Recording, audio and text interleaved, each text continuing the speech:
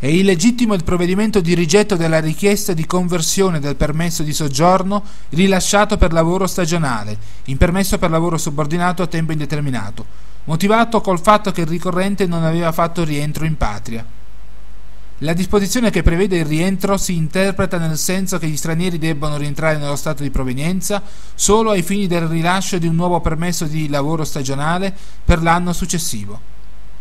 mentre per la conversione in permesso di lavoro subordinato devono sussistere solo le condizioni per il rilascio di tale permesso, ossia la disponibilità di una quota del decreto flussi, l'esistenza di un rapporto di lavoro a tempo determinato o a tempo indeterminato e la mancanza di elementi ostativi, ad esempio condanne.